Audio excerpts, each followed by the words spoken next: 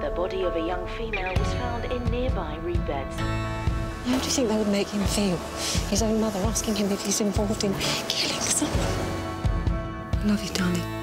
Love you too. A Mother's Son, coming soon on ITV1.